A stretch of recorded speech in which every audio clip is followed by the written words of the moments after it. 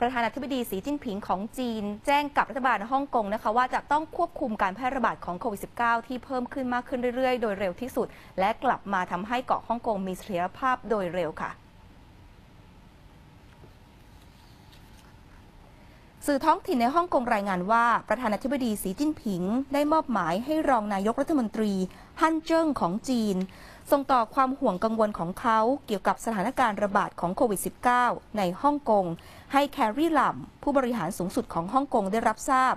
และส่งต่อความห่วงใยของเขาต่อพลเมืองฮ่องกงด้วยประธานาธิบดีสีกล่าวว่า รัฐบาลฮ่องกงจะต้องใช้อำนาจที่มี และทรัพยากรทั้งหมด ในการใช้มาตรการทุกอย่างที่จำเป็น ในการรับประกันความปลอดภัยและสุขภาพของประชาชน เพื่อให้เกิดเสถียรภาพในสังคมของฮ่องกง ถ้อยแถลงของประธานาธิบดีสีมีขึ้นหนึ่งวัน หลังจากที่แคร์รีลามกล่าวว่า มาตรการของฮ่องกงในการรับมือกับการระบาดของโอไมครอน ซึ่งเป็นการระบาดของโควิดระลอกที่ 5 นั้น ยังไม่เป็นที่น่าพอใจค่ะ เนื่องจากว่าโรงพยาบาลแล้วก็บุคลากรทางการแพทย์ยังต้องทำงานอย่างล้นมือนะคะนอกจากนี้แคร์รีลัมซึ่งจนถึงขณะนี้ก็ยังไม่ได้ยืนยันว่า จะเสนอตัวรับตำแหน่งผู้บริหารฮ่องกงต่ออีกหนึ่งสมัย เป็นเวลาอีก 5 ปีหรือไม่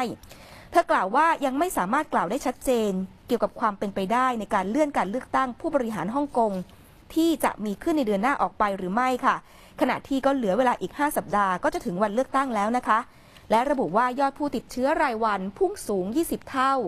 นับตั้งแต่ต้นเดือนกุมภาพันธ์เป็นต้นมา จนเจ้าหน้าที่ไม่สามารถบังคับการตรวจ และแยกกักตัวได้อีกต่อไปแล้ว คนไข้หลายสิบคนต้องรักษาตัวในพื้นที่นอกโรงพยาบาล เนื่องจากไม่มีเตียงคนไข้ว่างในโรงพยาบาลเลย ด้านกระทรวงสาธารณสุขฮ่องกง ประกาศตัวเลขผู้ติดเชื้อรายวันในวันนี้สูงถึง 4,285 ราย สูงสุดทำสถิติใหม่อีกครั้ง ไปต่อกันที่เกาหลีใต้นะคะสำนักงานควบคุมและป้องกันโรคเกาหลีใต้หรือ KDCA รายงานล่าสุดในวันนี้ค่ะ ระบุว่าจำนวนผู้ติดเชื้อโควิดรายใหม่ในเกาหลีใต้อยู่ที่ 9443 คน เมื่อวันอังคารที่ผ่านมา ทุบสถิติผู้ติดเชื้อรายวันสูงสุดใหม่ของเกาหลีใต้ ท่ามกลางการระบาดหนักของโควิดกลายพันธุ์โอมิครอน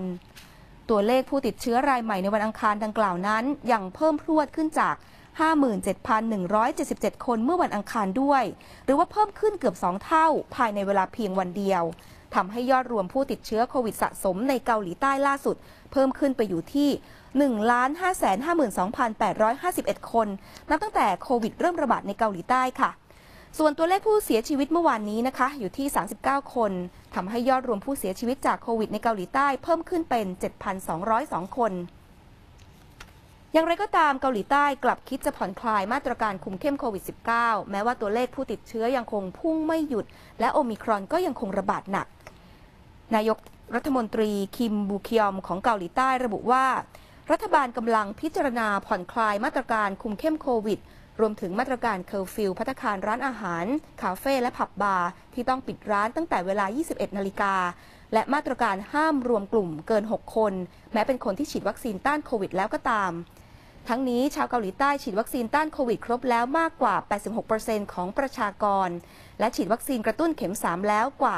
58%ของประชากรทั้งหมดค่ะ